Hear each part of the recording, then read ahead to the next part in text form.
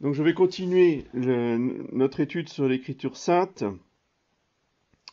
Après avoir vu l'inspiration, nous allons voir la canonicité des écritures. C'est-à-dire que le fait que euh, les livres qui sont contenus dans la Bible sont canoniques, c'est-à-dire qu'ils sont, euh, comment dire, euh, reconnus officiellement par l'Église comme étant des livres inspirés par Dieu. Donc il faut d'abord comprendre ce que c'est qu'un livre inspiré, et ensuite, eh bien, comprendre que ces livres inspirés sont récoltés dans un livre qui s'appelle la Bible, et que ce sont ces livres-là seuls qui sont inspirés, et tous ceux qui ne sont pas dans ce livre de la Bible ne sont pas inspirés, ne sont donc pas parole de Dieu. Alors, je continue le livre de M. l'abbé Aubry, Études sur l'écriture sainte. Vous allez voir que c'est le même raisonnement pour la canonicité des livres que pour l'inspiration de la Bible, primauté de la tradition et du magistère. Donc, pourquoi canonique? On appelle canon le catalogue ou la collection complète des livres admis comme inspirés. Aussi peut-il y avoir plusieurs canons selon qu'on admet un nombre plus ou moins grand de livres inspirés. Alors il y a, le canon protestant qui n'est pas le même que le canon catholique.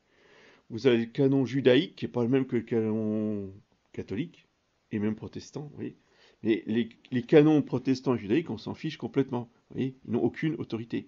Seul n'a d'autorité que l'Église pour déterminer quels sont les livres inspirés ou pas. Livre canonique, tout livre aspiré, pardon, tout livre admis au rang des livres inspirés, et alors ce livre est appelé ainsi, soit parce qu'il est lui-même une règle partielle de la foi, soit parce qu'il fait partie du canon ou du recueil complet des livres inspirés. Alors il y en a qui ont été reconnus plus tôt que d'autres dans la liste des livres inspirés. C'est pour ça qu'il y a les proto-canoniques qui n'ont fait l'objet d'aucune controverse, qui ont été admis tout de suite, sans discussion.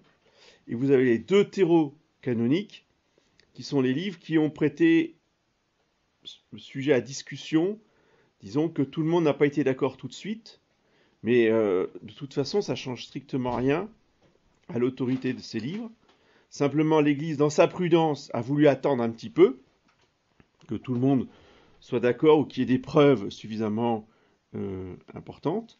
Mais ce qui compte, c'est l'autorité de l'Église qui dit ces livres sont inspirés. Et donc, à partir de ce moment-là, c'est la parole de Dieu. Je note tout de suite, avant de continuer la lecture de la Béobrie, voyez que les preuves de canonicité sont tout à fait secondaires. Je répète, les preuves historiques, critiques, de critique interne, de critique textuelle, etc., etc., sont totalement secondaires. Et ce ne sont pas avec des arguments ou des preuves euh, littéraires, critiques, etc., qu'on va s'engager dans des discussions qu'on va prouver quoi que ce soit. La seule preuve. Il est 17 heures. Pardon. La seule preuve qui existe, la seule preuve qui soit valable, c'est l'autorité de l'Église qui dit ce livre est inspiré. Point. Euh, le drame des, séminaristes, le drame des prêtres du XXe siècle, c'est que dans leur formation de séminaristes, on a beaucoup trop mis en avant, voyez, les preuves les preuves humaines, les preuves littéraires, les preuves critiques, pour démontrer que les livres étaient bien canoniques. Et c'est dramatique, parce que, en fait, l'autorité du magistère, l'autorité de l'Église, bah, c'est renvoyé à la théologie dogmatique. C'est un autre cours. Mais nous, ici, on est en exégèse. Donc en exégèse, on ne parle pas du magistère. On ne va pas citer le Concile de Trente en exégèse. En exégèse, on, on cite les études des exégètes qui vous démontrent que, qui vous prouvent que. Alors ça, l'abbé Aubry, son grand combat, c'est de ramener l'autorité du magistère de l'Église au centre et au cœur de l'étude de l'Écriture sainte et de la défense de l'Écriture sainte en apologétique. Le fait même de l'insertion d'un livre par l'Église dans le canon des Écritures suffit, abstraction faite de toute autre preuve, à établir et à mettre au rang des dogmes son inspiration et sa canonicité. Et donc le, le fait qu'un livre, par exemple la Genèse, euh, n'importe quel livre de l'Ancien Testament ou du Nouveau Testament, les épîtres, soit mis au rang des livres inspirés, c'est mis au rang des dogmes. Ça a autant, évidemment, d'autorité qu'un dogme. Ce jugement sur la canonicité des saints livres appartient à l'Église comme gardienne du dépôt de la foi. L'Église a été chargée par Jésus-Christ de la conservation de la foi, de sa prédication et de sa propagation. Or, les vérités relatives à l'écriture, en particulier cette vérité que tel livre est canonique et tel livre n'est pas canonique, ces vérités appartiennent au dépôt de la foi. Si l'Église est chargée de la conservation de la foi, elle est chargée surtout des moyens de cette conservation. Or l'Église est un Or l'écriture, pardon, est un moyen notable de la conservation de la foi. Donc, c'est à l'Église de régler les questions qui se rapportent à l'Écriture sainte. L'Église est infaillible dans les faits dogmatiques. Or, la détermination du canon est un fait dogmatique. Les inconvénients qu'il y aurait à ce qu'en dehors de l'Écriture, aucune autorité ne fût chargée de, déterminer le canon, des livres inspirés pourraient être rejetés ou mis en doute. Des livres faux et peut-être hérétique regardé comme inspiré. Bah oui, parce que euh, des preuves, des critiques, des études, des arguments, tout ça, c'est discutable. Ce qui est affirmé et prouvé par les uns peuvent être réfutés et rejetés par les autres. S'il n'y a pas l'autorité de l'Église pour trancher définitivement le débat comme pour les questions théologiques et dogmatiques, eh bien, euh, cela détruirait complètement l'autorité de l'Écriture sainte. La valeur des jugements de l'Église dans les questions relatives à la foi est fondée non sur les preuves dont elle peut se servir pour les préparer, mais sur le don d'infaillibilité que Jésus-Christ lui a conféré. Ce qui est vrai pour la canonicité, donc l'inspiration déterminée de tel ou tel livre de la Bible, est équivalent à la détermination d'un dogme de la foi catholique. Pour le dogme, comme pour le livre de l'Écriture sainte, eh bien, l'Église, par prudence, va chercher des preuves, va chercher des arguments, mais la valeur du livre ne repose pas sur ces preuves. De même que l'affirmation d'un dogme ne repose pas sur ces preuves elle repose sur l'autorité de l'Église qui est infaillible. ça, c'est, si j'insiste tant, c'est parce que ce n'est jamais dit en ce qui concerne, enfin, c'est jamais dit. Pardonnez-moi, c'est souvent mis en sourdine, c'est dit, mais on n'insiste pas assez, on insiste beaucoup trop sur les preuves, on met trop en avant les preuves, et on laisse en arrière-plan ce qui est essentiel, c'est l'autorité de l'Église. La valeur des jugements de l'Église, continue Abbé Aubry, dans les questions relatives à la foi est fondée non sur les preuves, mais sur le don d'infaillibilité. La mission de l'Église vient d'être expliquée. Or, le jugement de l'Église n'a pas seulement valeur de témoignage historique, mais il vaut en lui-même, et parce qu'il est prononcé par une autorité infaillible. Il vaut comme celui de Dieu. Sa valeur est donc indépendante de celle des preuves. voilà. Évidemment, cette doctrine, quand on, la lit, elle nous paraît évidente. Bah, c'est évident, c'est la, faillibilité du pape qui fait que euh, on est absolument certain et que, si vous voulez, un, livre est, est, est, inspiré parce que l'Église me le dit, parce que le pape l'a déterminé, parce que le concile avec le pape l'a décrété.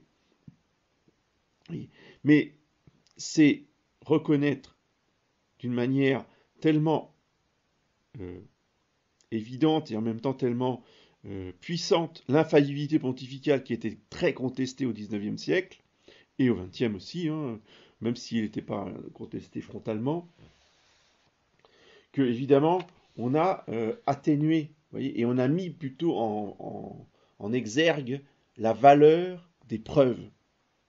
pour ça que l'abbé Aubry rétablit la juste mesure en disant que la valeur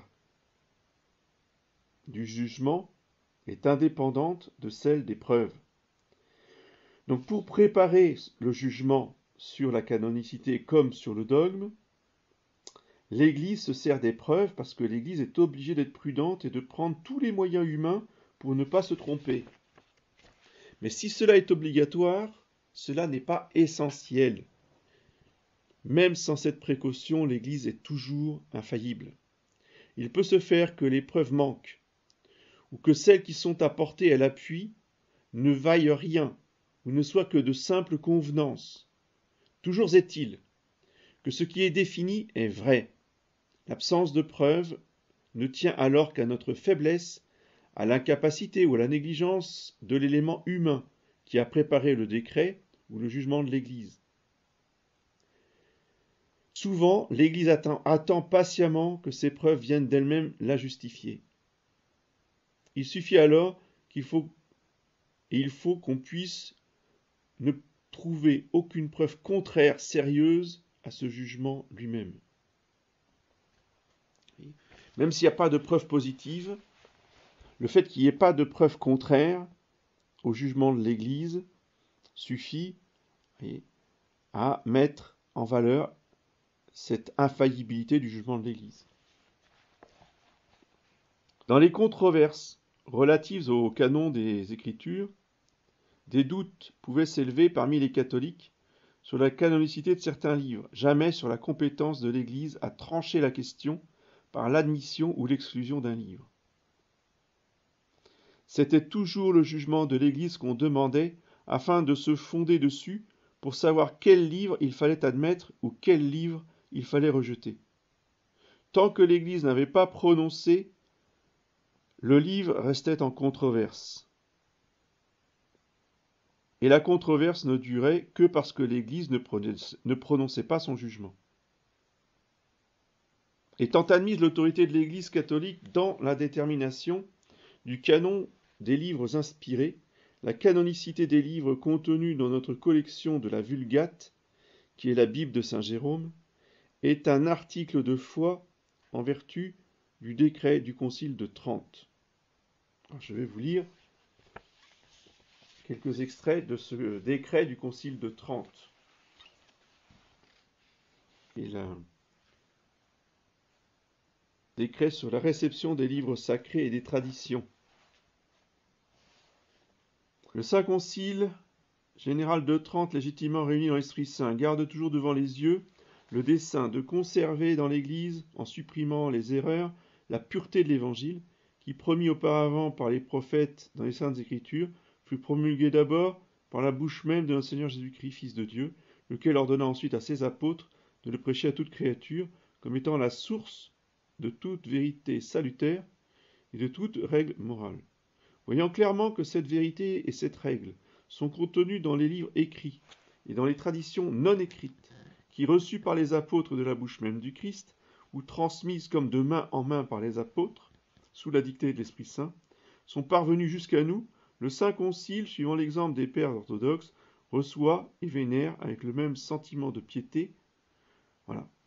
Très important, donc ce que souligne le Concile, avec le même sentiment de piété et le même respect, tous les livres, hein, qu'ils soient donc proto ou deutérocanoniques, ça n'a aucune importance, ça ne rentre pas en ligne de compte. Donc tous les livres sont reçus de la même manière, ainsi que les traditions concernant soit la foi, soit les mœurs, comme venant de la bouche même du Christ, ou dictées par l'Esprit Saint et conservées dans l'Église catholique par une succession continue. Le Concile a jugé bon de joindre à ce décret une liste des livres saints pour qu'aucun doute ne s'élève en quiconque sur les livres qui sont reçus par le Concile. Alors, suit la liste de tous les livres de l'Ancien Testament et du Nouveau Testament que vous trouvez dans toutes vos Bibles de la Vulgate. Si quelqu'un ne reçoit pas ces livres dans leur intégrité, avec toutes leurs parties, pour sacrés et canoniques, donc inspirés, comme on a coutume de les lire dans l'Église catholique, et tels qu'on les trouve dans la vieille édition latine de la Vulgate, s'il méprise de propos délibérés les traditions susdites, qu'il soit anathème. Et que euh, les choses sont parfaitement exprimées par le Concile de Trente. Nous devons recevoir tous les livres de nos Bibles de la Vulgate avec la même autorité comme étant la parole de Dieu, ce sont des livres inspirés. Le décret du Concile, notez-le bien, souligne que, en tant qu'ils viennent directement des apôtres, comme toutes les autres traditions, ces livres sont inspirés et canoniques. Et ils ont été conservés dans l'Église depuis le temps des apôtres. Donc, dans son jugement, l'Église nous dit que ces écrits nous viennent des apôtres, y compris l'Ancien Testament. Évidemment. S'il y a une différence, et si l'on veut établir une distinction entre les livres proto- et deutérocanoniques, elle ne peut être placée dans un degré inférieur d'autorité de ceux-ci sur les autres. Donc il n'y a pas d'autorité inférieure, l'autorité est égale pour tous les livres. Le jugement de l'Église n'a pas besoin d'une justification historique. Elle n'a pas besoin de preuves. Encore une fois, même si il est utile, il est bon qu'il y en ait. Ou si l'on veut, le jugement de l'Église n'en a besoin qu'en ce sens que l'histoire vraie ne peut, pas être contre lui, et que l'histoire, si les documents existent, est nécessairement pour lui. De plus, le jugement de l'Église doit être la règle de l'histoire, et non pas l'histoire la règle du jugement de l'Église. Il ne faut pas inverser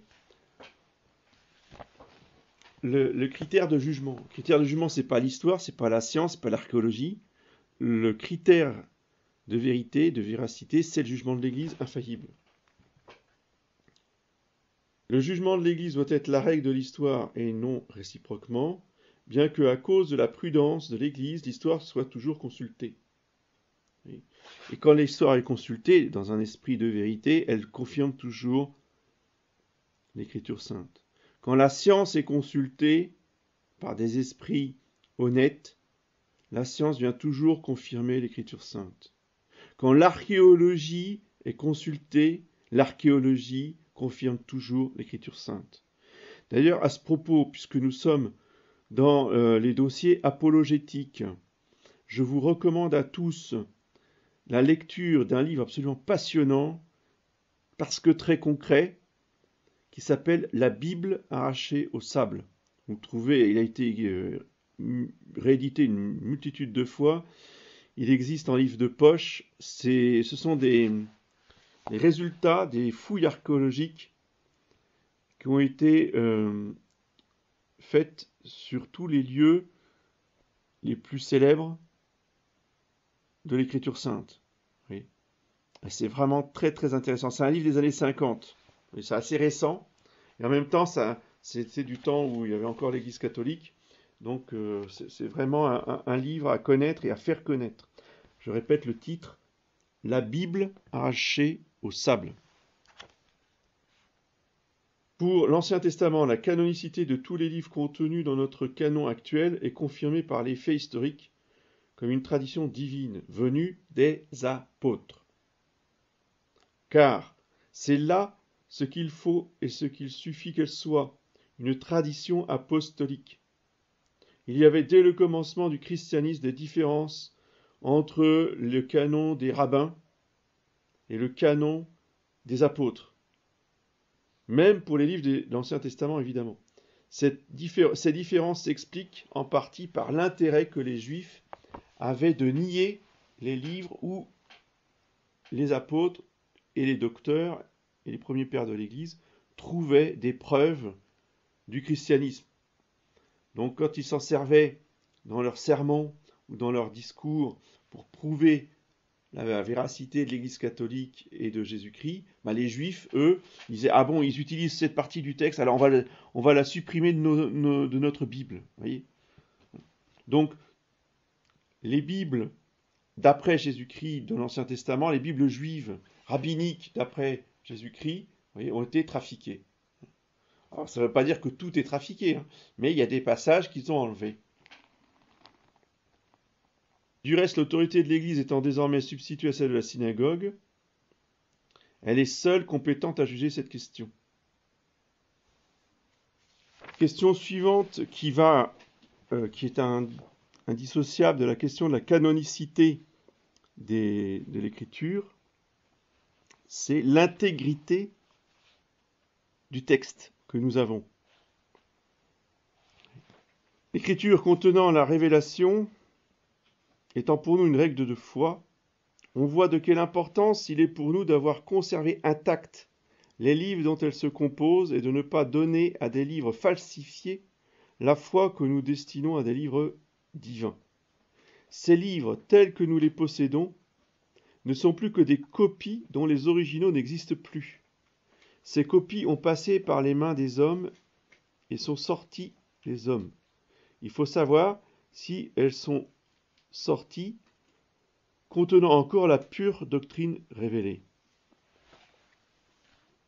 Les textes originaux de la Bible sont écrits en chaldéen ou en grec. L'hébreu fut la plus enseigne de toutes les langues.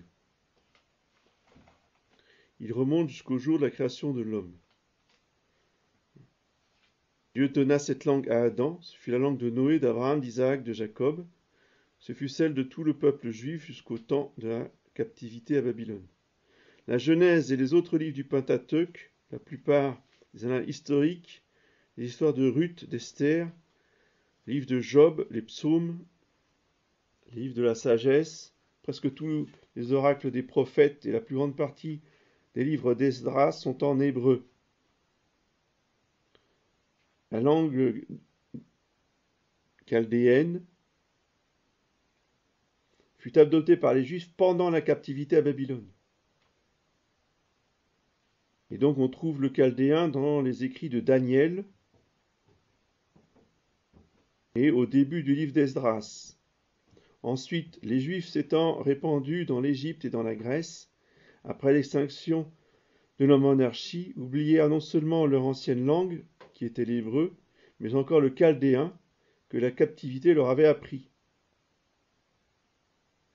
Étant familiarisés avec le grec à cause de les avoir côtoyés à Athènes, eh bien, les livres de la sagesse et le second livre des Maccabées ont été écrits en grec mais un grec mêlé d'hébraïsme. Tous les apôtres ont écrit en grec, excepté peut-être Saint Matthieu, dont l'évangile paraîtrait avoir été composé en syro-chaldéen. On n'en est pas sûr parce que les exemplaires qu'on a reçus étaient en grec ensuite. Donc, euh, mais le grec de Saint Matthieu est, bourré d'hébraïsme. Ce qui faisait dire que peut-être que l'original était en hébreu. Les textes originaux de l'Ancien et du Nouveau Testament ont été conservés parfaitement purs de toute altération, capables d'en dénaturer la substance.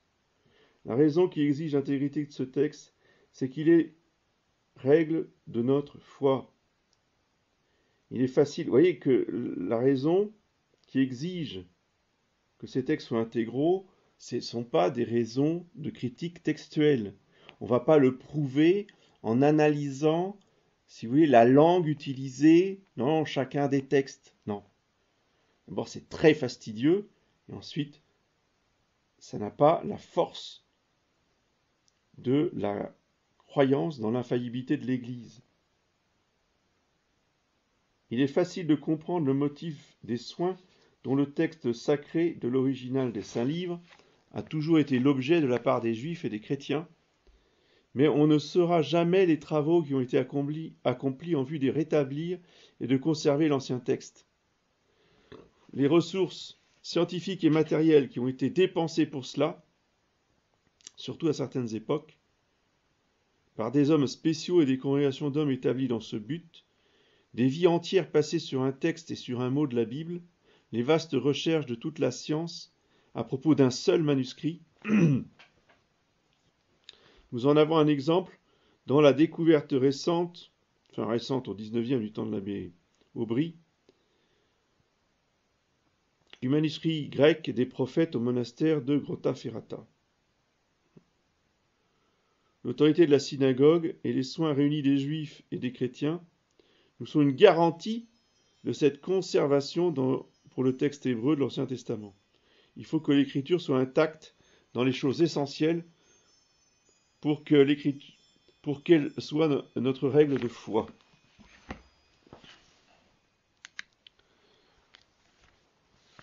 Depuis l'origine des saints livres jusqu'à saint Jérôme, le meilleur garant de leur intégrité, c'est le respect extraordinaire des Juifs pour les saints livres. Oui, alors justement, c'était le défaut, le reproche que leur faisait euh, notre Seigneur Jésus-Christ, c'est qu'ils étaient trop attachés à la lettre. Ils avaient le culte de la lettre, ils en avaient perdu l'esprit. Mais euh, il y a la qualité du défaut, c'est que justement, leurs manuscrits, voyez, euh, ils en avaient un tel culte pour rien au monde, ils auraient modifié ne serait-ce qu'une seule lettre, quoi. Pour eux, euh, chaque lettre était divine quasiment, donc ils y mettaient un soin extrême à euh, les, conserver intègres, intacts, et à les recopier le plus exactement possible. Ça, c'est un argument, euh, si vous voulez, humain, mais très fort leurs deux historiens, leurs deux grands historiens, euh, évidemment donc juifs, Philon et Flavius Joseph, euh, font foi de cette disposition des scribes. Hein, parce que ceux qui recopiaient les manuscrits, c'était les scribes.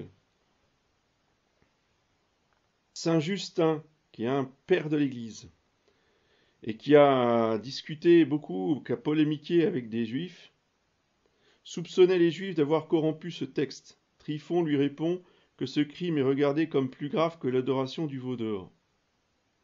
C'est au texte hébreu que s'adresse l'approbation et la confirmation des Écritures par Jésus-Christ et les apôtres. Saint Jérôme proclame hautement cette intégrité, aussi donne-t-il au texte hébreu le nom de Veritas Hebraica. Et prend-il ce texte pour la base de son travail en le confrontant avec la, Vetus Itala, c'est-à-dire l'ancienne euh, italique.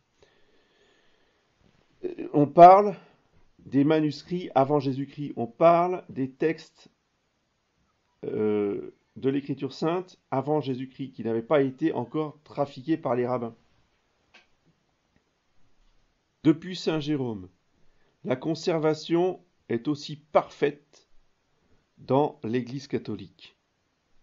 La conformité des versions de Saint Jérôme avec le texte qui nous est conservé est parfaite. La conduite de l'Église en face des Juifs, qu'elle a toujours respectée exceptionnellement, non seulement parce qu'ils sont les enfants de l'ancienne synagogue, mais parce qu'ils ont gardé le dépôt, ils ont gardé pur le dépôt des Écritures qui sont les monuments de notre foi chrétienne oui, euh, garder purs les monuments euh, qu'ils n'ont pas trafiqués, ou qui n'ont pas, du moins, euh, les passages qu'ils n'ont pas supprimés. Mais, c'est ça, les, juifs ne, sont pas des trafiquants, ils sont des découpeurs, si je puis dire. ils ont coupé certains passages, ils les ont enlevés parce que ça favorisait les chrétiens. Mais ce qu'ils ont gardé, par contre, ils l'ont pas trafiqué. Ça, c'est important de, bien comprendre. D'où l'utilisation dans l'Église catholique, voyez, euh, du texte euh, hébreu, tel qu'il nous est parvenu aujourd'hui. Donc l'autorité des églises particulières, donc des diocèses, et le soin des chrétiens nous sont une garantie de la même conservation pour le texte grec du Nouveau Testament. Même raison exigeant que ce texte nous soit conservé pur. Il est la règle de notre foi. Ce texte a pour lui un préjugé de plus que celui de l'Ancien Testament, c'est qu'il est moins ancien et qu'il a été pour les chrétiens l'objet d'un soin spécial et d'une étude plus intéressée encore. Ces textes originaux du Nouveau Testament sont restés quelque temps dans les églises particulières où des copies en ont été faites et répandues partout, reçues avec un sentiment non seulement respectueux, mais religieux, et lues dans les églises et pendant les cérémonies. Or ce respect, cette multiplicité des copies, la confrontation que les autorités ecclésiastiques locales et centrales avaient soin d'en faire souvent, et la conformité qu'on tenait essentiellement à garder avec l'original, sont un garant de leur conservation parfaite. Alors je rajouterai qu'il y a une version grecque de l'Ancien Testament qui a été faite les rabbins eux-mêmes, mais des rabbins avant Jésus-Christ, donc pas les, pas les, pas les, talmudistes, hein, mais plusieurs centaines d'années euh, avant Jésus-Christ, je ne me rappelle plus exactement la date, eh bien 70 rabbins se sont réunis à Alexandrie. Ils se sont enfermés dans des cellules, 70 cellules, dans un, dans même, dans un même bâtiment, et chacun a euh, traduit en grec, si vous voulez, euh, la Bible. Ils ne pouvaient, ils n'auraient pu quitter le bâtiment que quand ils auraient terminé leur travail de traduction. Alors ça a duré un certain temps, vous l'imaginez, hein, ça a duré plusieurs mois.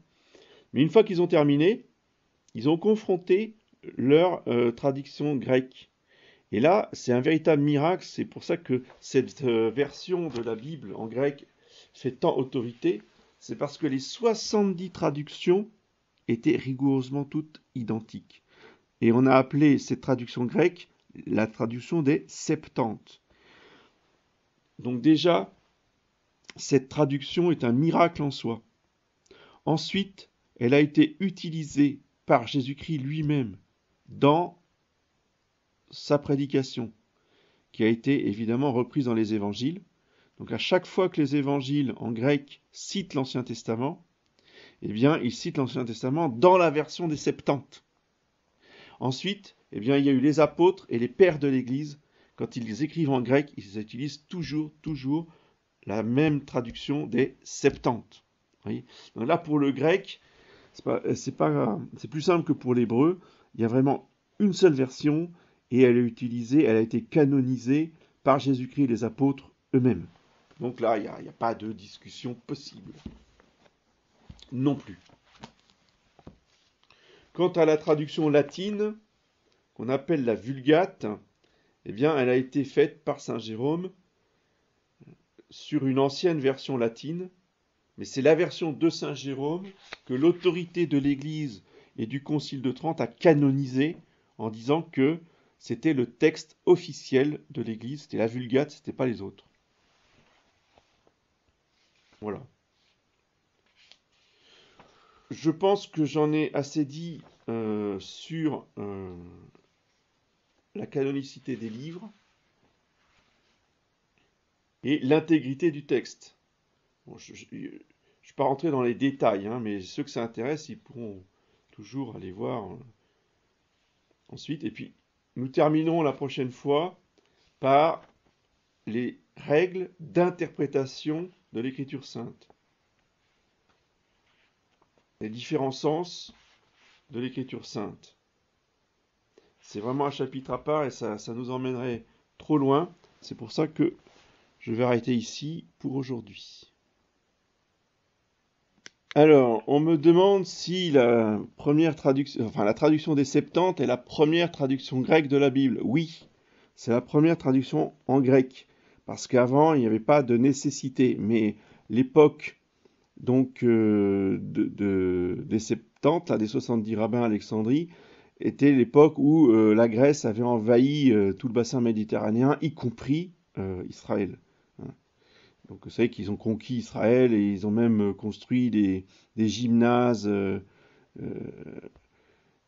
C'était la, grande époque où justement la, religion, la vraie religion juive était menacée, la religion mosaïque était menacée par tous ces païens qui avaient partout. Donc, euh, oui, c'est la première fois et c'était euh, une nécessité pour la diaspora parce que bah, les, juifs n'entendaient plus l'hébreu, ils n'entendaient plus le chaldéen, ils ne comprenaient plus que le grec. Donc, euh, ils ont traduit en grec. Alors on me demande qui a écrit les premiers livres de la Bible, c'est-à-dire donc les premiers livres de la Bible, il y en a cinq. C'est pour ça qu'on appelle ces livres le Pentateuque. Donc le Pentateuque qui commence avec la Genèse et puis qui, continue, le livre des Nombres, le Lévitique, etc. Ces livres-là ont été écrits par Moïse lui-même. Donc on me pose la question, si les textes apocryphes ne sont pas canoniques, est-ce qu'ils sont mis à l'index? Et sinon, en existe-t-il une version expurgée des mauvais éléments? Serait-il conseillé de les lire? Alors, pour ces questions des textes apocryphes, ce sont justement tous les livres qui euh, n'ont pas été reconnus par l'autorité de l'Église comme inspirés. Donc ce ne sont pas des livres inspirés. Vous avez des livres apocryphes de l'Ancien Testament et vous avez des livres apocryphes du Nouveau Testament. Et donc le problème de ces livres, c'est que pour certains, ce sont des livres humains qui euh, inventent parfois des histoires complètement loufoques, très souvent sont euh, imprégnés de gnose. Hein, euh, les, gnostiques étaient très puissants, surtout dans les premiers siècles de l'Église, et c'est eux qui ont, ont rédigé des apocryphes, y compris des apocryphes de l'Ancien Testament, euh, je pense en particulier le livre d'Enoch. Qu'il faut se méfier, il l'Église déconseille absolument de lire les apocryphes. Il faut éviter de lire les apocryphes. Contentons-nous de la parole de Dieu et n'allons pas chercher, par une vaine curiosité, à lire les livres apocryphes. Existe-t-il une version expurgée des mauvais éléments? Pas à ma connaissance, non mais il est déconseillé de les lire. Est-ce que, alors, autre question, est-ce que les références du livre fluo sont bonnes? Oui. Alors, les références du livre, c'est la Bible arrachée au sable de Jean-Luc Poutier et Werner Keller. Ah, C'était deux archéologues en fait. Alors, euh, il citait la Septante oui, j'ai dit que notre Seigneur citait la Septante, donc il citait les Rito en grec. Bah oui, parce que les, bien sûr, tout le monde connaissait le grec. Et en tout cas, quand euh, je vous rappelle que tous les, quatre évangiles sont écrits en grec. Et en tout cas, si notre Seigneur ne, la citait pas lui-même, en tout cas, euh, si vous voulez, les évangélistes, eux, quand ils citent les paroles de Jésus, qui citent l'Ancien Testament, ils utilisent toujours la version des Septante.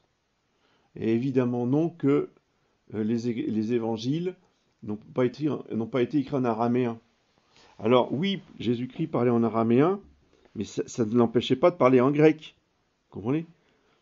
Parce qu'il était compris aussi en grec. Pour moi, ça pose pas une difficulté. L'araméen, c'était la langue de tous les jours. Mais euh, comme il nous arrive, nous, entre nous, regardez ce qui se passe entre catholiques. Alors euh, oui, euh, entre catholiques très cultivés ou un peu versés dans, toutes les questions un peu théologiques, eh bien on va, on n'hésitera pas à faire une citation en latin, où on va citer une phrase de saint Thomas en latin.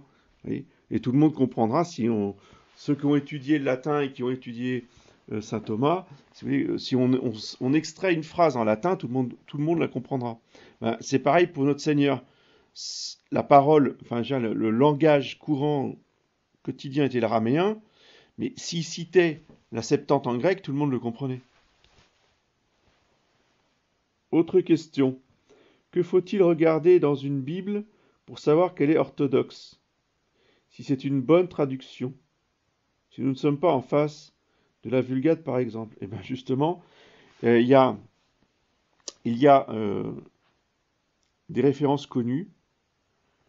Il faut que la version française soit une traduction de Monsieur l'abbé Glaire selon la Vulgate, ou de Monsieur l'abbé Crampon selon l'hébreu. C'est-à-dire que la, Bible Crampon est une traduction française à partir de l'hébreu, alors que la Bible Glaire ou euh, Vigourou ou Filion, hein, Vigourou, Filion, Glaire, euh, la, plus, la plus répandue dans le commerce aujourd'hui, c'est celle de l'abbé Glaire à partir de la Vulgate en latin. Les autres, la Bible de Jérusalem, totalement hérétique au niveau des notes et des commentaires. tout. La Tobe, traduction œcuménique, c'est à mettre à la poubelle. Et encore, c'est beaucoup d'honneur à lui faire que de la mettre dans la poubelle. Enfin, passons. Euh, et sinon, toutes les Bibles protestantes, la Bible seconde et toutes ces Bibles-là, ça, ça n'a aucune autorité. Ce qui compte, je vous ai dit, c'est la Vulgate et les traductions françaises de la Vulgate par l'abbé Glaire, Filion Vigourou. C'est le texte hébreu avec sa traduction française de Monsieur l'abbé Crampon. Voilà, c'est tout. Euh, monsieur l'abbé Oui. Euh, la dernière fois, vous aviez dit qu'au début, l'Église n'encourageait pas forcément les fidèles à, lire la Bible. Oui. Est-ce qu'après, ils ont, dans des conciles, ils ont, ils ont encouragé ou ils ont changé ça Non, ils n'ont pas encouragé, mais ils n'ont pas interdit. D'accord. Mais en soi, ils ne recommandent pas forcément lire la Bible euh Non, nulle part c'est recommandé. D'accord. Ce qui est recommandé, c'est de lire l'histoire sainte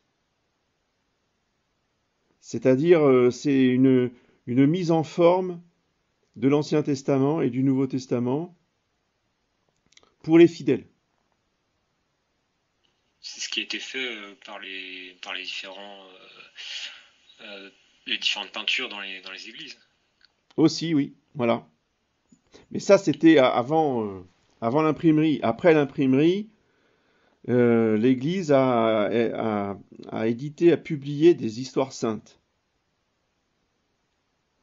Vous avez peut-être entendu parler aussi des manuscrits de Qumran, de la mer morte, hein, qui ont été découverts dans les années 50 par un petit berger qui gardait ses moutons et qui a découvert l'entrée de la grotte, qui a été voir euh, dedans et qui a sorti des, une, une amphore avec des, manuscrits dedans. Et c'est comme ça qu'on a découvert euh, le trésor des manuscrits de la mer morte, qui sont des, papyrus de l'Ancien Testament euh, et pas que, il y a des, commentaires aussi euh, euh, du Nouveau Testament qui ont fait découvrir qu'il y avait une communauté particulière à cet endroit. Mais l'intérêt de cette bibliothèque, c'est d'avoir des morceaux les plus anciens qui soient de, des évangiles, voyez, et des textes dans l'Ancien Testament en particulier. Je crois qu'il y a un, manuscrit d'Isaïe particulièrement bien conservé. Donc là aussi, euh, si vous vous intéressez à Qumran, euh, enfin à cette question de, textes originaux, hein, il ne faut pas passer à côté de Qumran et des travaux de l'abbé Carmignac, qui a été le grand spécialiste de Qumran. Qumran. Qumran. Qumran. Qumran. one